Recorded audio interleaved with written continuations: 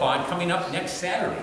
And, and, uh, and it's going to be great fun. We're going to have all sorts of people helping to make quilts. So I'm going to talk about quilts again. And do you remember last week I showed you a quilt? We got room for one more up here. I think we have space. Just one more person. Oh, here we go. well, let me show you the quilt. Let me show you the quilt that I showed you last week.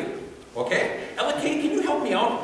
Let's pretend that you were really cold, okay? Are you really cold? Brr. If we wrapped you up in this quilt, wouldn't that keep you nice and warm? Wouldn't that keep you good and warm? Yeah, it would. Now, let me get you two. Can you two hold this for me? You, let's see, if you stand right here and hold that, and you stand right, Ella can you help him too? Huh? Good. Notice how this quilt is made up of a whole bunch of pieces. There's all sorts of different pieces, and you can't see them because you're behind it. And all the pieces have a word on it. And each one of the pieces of this quilt are pieces of the Christian life. You know what it means to be Christian?